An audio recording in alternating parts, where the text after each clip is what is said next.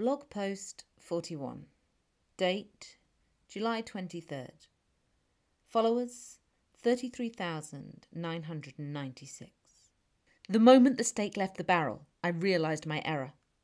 In all the practice I'd done out in the woods the previous day, I'd been aiming at a stationary target. But this one was moving towards me fast and was able to see with vampire awareness exactly what I was doing. Christopher was already meters away from where I'd aimed, and, rather than hitting him square between the eyes as I'd planned, the projectile merely shattered the glass display cabinet full of medieval swords and spikes. Anger surged inside this monster I'd tried to destroy as I frantically reloaded the gun. The air temperature was dropping, as if he was able to suck the very life and heat from the room. You will regret that, he said. I knew I would. I just didn't know how much. God, what happened next? Sorry, it's not easy to write this. If only I'd been thinking straight, I would have been able to save him. I'm sure of it. Had I not been so distracted by the chill in the air and the shattering of the glass, I might have realised what was coming. But the truth was, I had assumed Christopher was still after me. I was the one who'd fired the gun. I was the one who'd turned him. I was the one who deserved his wrath. But he wasn't. With a screech that resonated through my very bones, he spun around and leapt across to where my parents and Glenn were huddled. It was such a sudden movement, so fast I couldn't make sense of what was happening until it was too late. Christopher's hands were on either side of my father's head, and he gave one quick twist. That was all it took, and my dad fell to the floor. Dead. No! Our voices rang out in unison. Glenn and Mum dropped to the floor beside my dad's body, their wailing instant. And me? For a second, I just stood there, not believing what I'd just seen. It couldn't be true. It couldn't. Not Dad. I still struggled to accept it.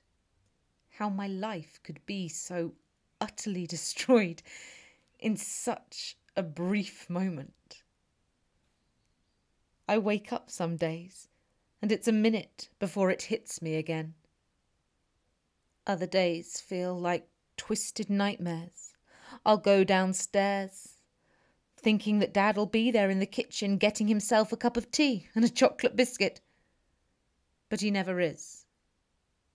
Because he's gone. He's really gone. Christopher turned and locked eyes with me, smiling. It felt as if I were looking into the soul of the devil himself. They taste better when the pulse is still going, you know. But I'm sure we could still get a decent meal out of him, if you like. He was taunting me, saying things that would make me act irrationally, and it worked. My head was spinning. I could barely manage to see for the tears that were blurring my vision, and all I could hear was the echo of the snapping sound and my mother's sobs. You will pay for this, I said, firing off another shot from the gun. Christopher dodged it with a casual drop of his shoulder and strode towards me. I pulled out another stake and went to reload for a second time, but my hands were clumsy, shaking so badly it was like I was human again. Come on, Merowyn. Don't make this any more painful than it needs to be. Actually, though, it should be quite interesting. I wonder if it's as painful when you die a second time as it was the first. You will let me know, won't you? Though I should be able to tell by how much you scream. As he stepped closer, I stumbled backwards. I wasn't sure how many stakes I had left in my pocket, but I knew there couldn't be many. I took aim again. This time it hit him in the shoulder, and he winced. You don't really think those'll work, do you? At least not the way you're firing them. Maybe not, I said, as he watched me reloading yet again. But that might. Fixated on me and the gun, Christopher hadn't heard Glenn creeping up behind him, armed with a vicious pike. He plunged it into Christopher's back so hard it burst out through his chest. The gasp that flew from his lungs was as much from surprise as the blow itself. My eyes bulged as Christopher staggered forward. But if what Dad had said earlier was true, the damage to the heart probably wouldn't be enough to kill him if he escaped and had time to heal. He seemed to know this too. Christopher grinned and looked towards the door. He was going to run into the night and disappear, and we would be haunted for the rest of our lives, mine eternally, if I didn't manage to stop him. Not trusting my aim any more, I tossed the gun and ran to block his escape. He came to a stop less than a foot in front of me. You're not leaving here alive, I said. You're making a huge mistake, he hissed. This isn't how we're meant to live, like some kind of pet not allowed to hunt. We're supposed to be great, Merowyn. We're supposed to be superior. No, you're supposed to die. For good.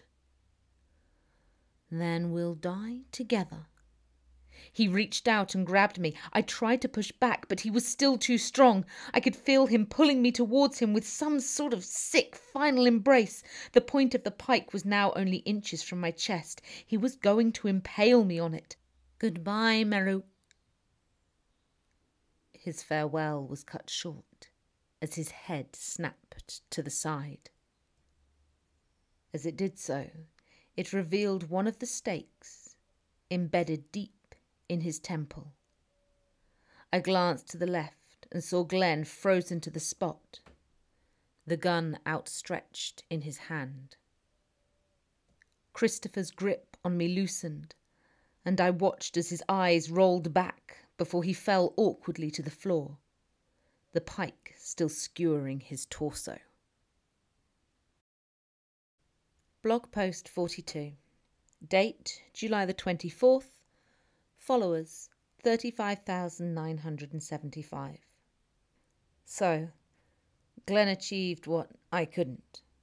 He protected me, and he made sure we didn't lose any more of the family that night. Glenn is the one who saved us all. Both of us were staring at the dead vampire. Neither of us could move, neither of us could do anything. Is he Glenn said eventually. I stared at Christopher, the same thought running through my mind. How could you tell if you'd killed someone who was technically already dead? I had no idea, but I wasn't going to take any chances. I crouched down to pick up a sword, but it turned out I wasn't the only one to have that idea. The swish of a blade slicing through the air and then through his neck separated his head from his body. Satisfied he was really dead, Mum tossed the ancient sword to the side. We should get going, she said, drawing herself up. We need to get out of here. All that noise. We're lucky the police haven't already turned up. What? I was glad to see that Glenn was looking at her with the exact same expression of bafflement I must have had on my face. Clearly, she was in shock. Mum, we have to stop here. We'll need to explain to the police what happened.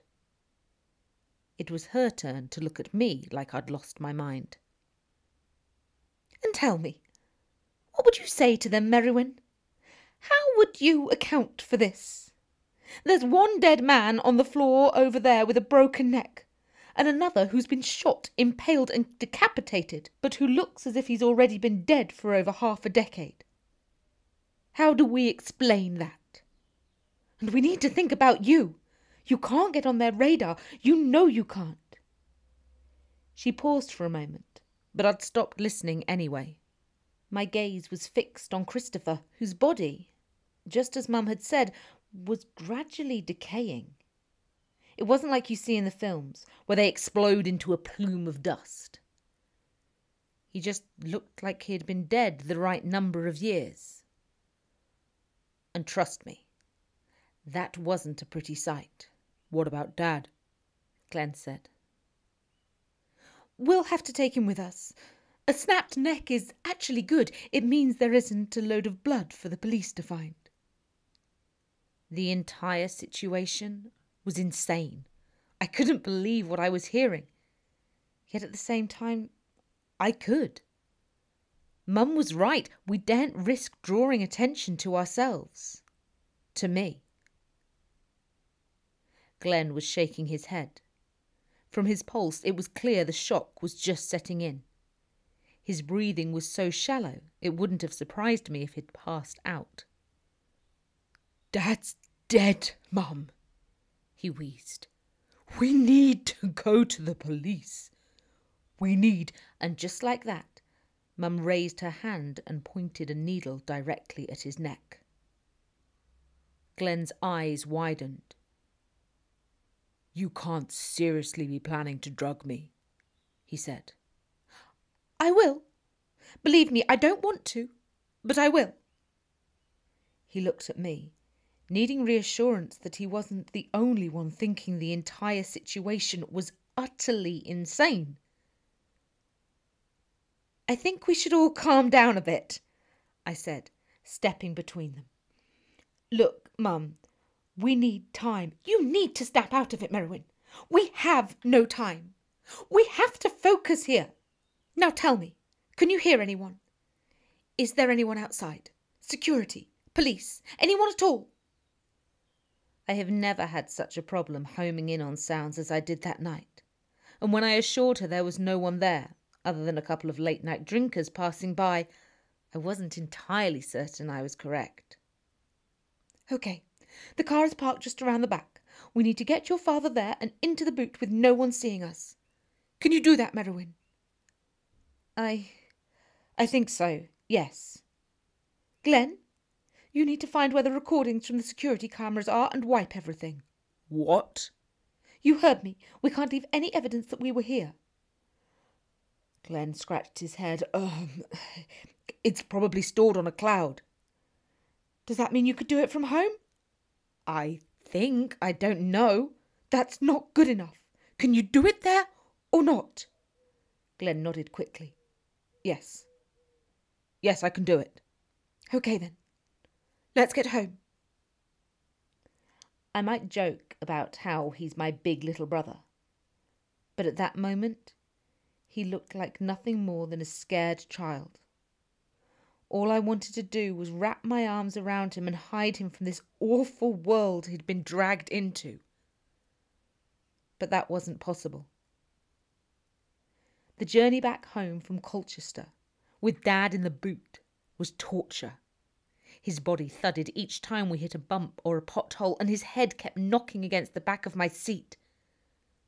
I don't know if hell is a real place, but that was the closest I've ever got to it. The moment she drew up outside the house and unbuckled her seatbelt, Mum was back in action. Glenn, the security cameras, deal with them straight away. It doesn't matter how much you have to wipe. Just make sure you've deleted everything showing Christopher and us. You understand? We'll start dealing with the rest. He nodded silently, having not said a single word since we got in the car. He got out and headed indoors.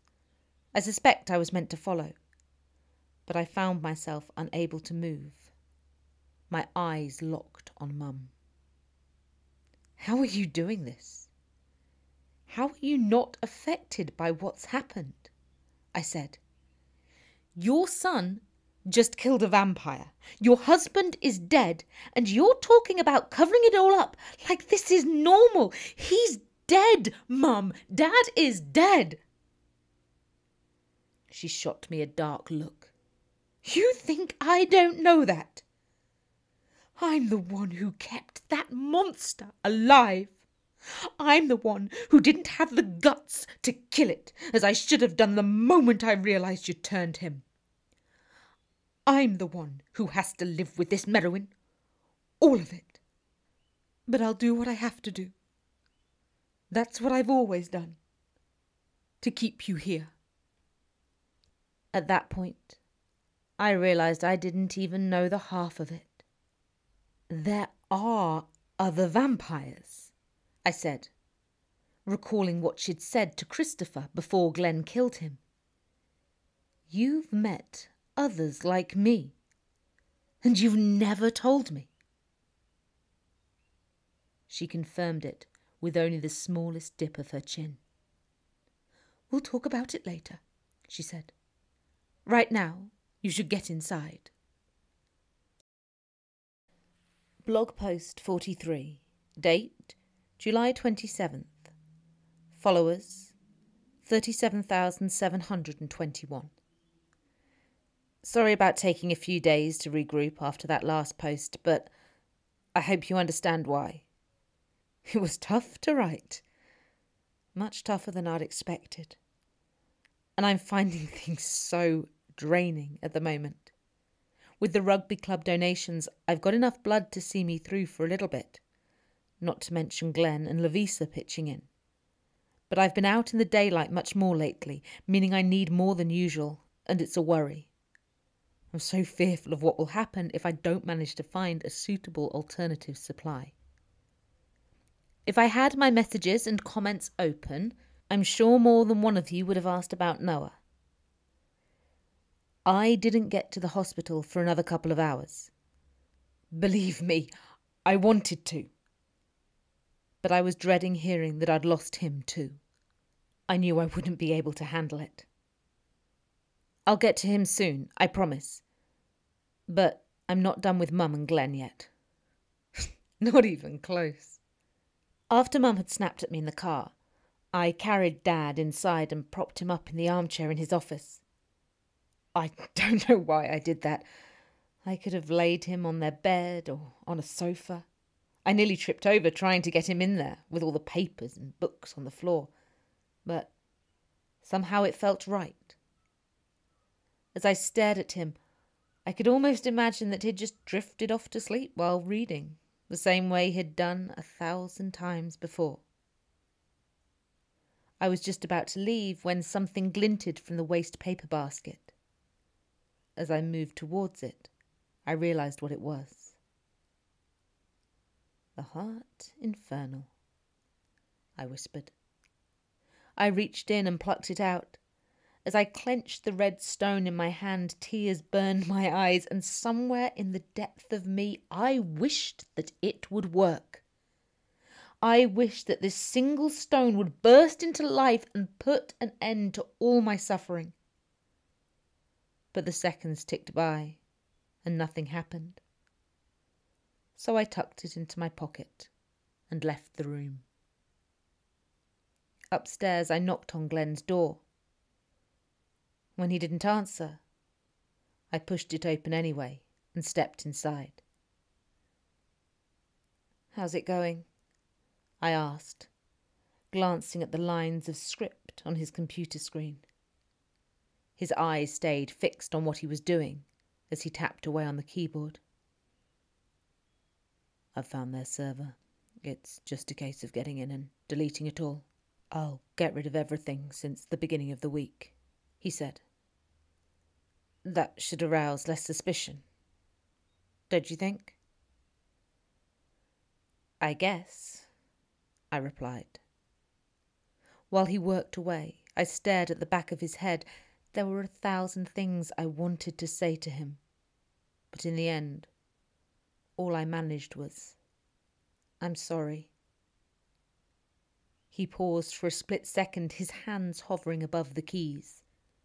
Then the moment passed, and he was back, typing away. Another few minutes passed before he spoke again. It's done. With the security footage sorted, there was no avoiding the inevitable. I needed to speak to Mum and find out just how much she'd been hiding from me. So, leaving Glenn upstairs, I went down to the kitchen where she was fixing herself a large whisky. Judging from the smell of her breath, it wasn't her first, but I didn't say anything. I just stared at the broken kitchen table. When she drained the glass and reached again for the bottle, I knew she had no intention of being the first one to break the silence. You should have told me about Christopher, I said.